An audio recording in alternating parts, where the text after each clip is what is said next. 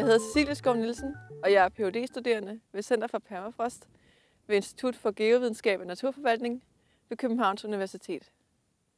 Jeg er på DISCO for at lave feltarbejde til min Ph.D.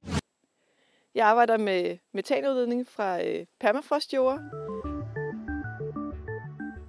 Vi er interesseret i, hvad der sker, når permafrosten smelter, fordi der i vådområder som det her er lagret rigtig meget kulstof. Og kulstof det er det, som kan blive nedbrudt og blive til enten CO2 eller metan, øh, som begge er drivhusgasser, og især metan er en stærk drivhusgas. Jeg laver tre typer målinger herop. Øh, jeg måler på metanflukse, hvad der kommer ud af jorden fra hele økosystemer og fra planter.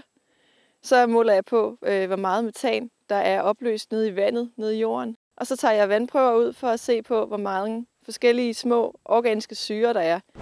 Øh, det her det er de øh, prober, jeg installerede sidste år. Øhm, og de går ned i, øh, i 5 og 10 og 15 og 25 og 40 cm dybde. Øhm, og så sidder der en silikoneslange, som er rullet op som sådan en snegl, nede i, øh, i de forskellige dybder. Øhm, og så diffunderer øh, gasserne ind i, øh, i det øh, volumen, der er inde i slangerne.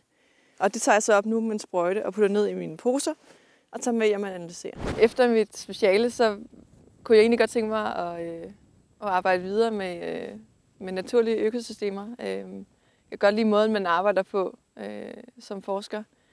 Øh, friheden til at, at vælge, hvordan en stat skal se ud, øh, og til at muligheden for at fordybe sig. Men grunden til, at det er spændende at lave PhD heroppe, det er jo fordi, at det er så super interessant øh, og relevant. Øh, hvad sker der, når, øh, når permafrosten smelter, og alle de her drivhusgasser, der kommer ud. Det er virkelig øh, det er ligesom et emne, som, som optager øh, rigtig mange mennesker i øjeblikket, øh, og har ja, allergørende betydning for, øh, for livet på vores klode fremover.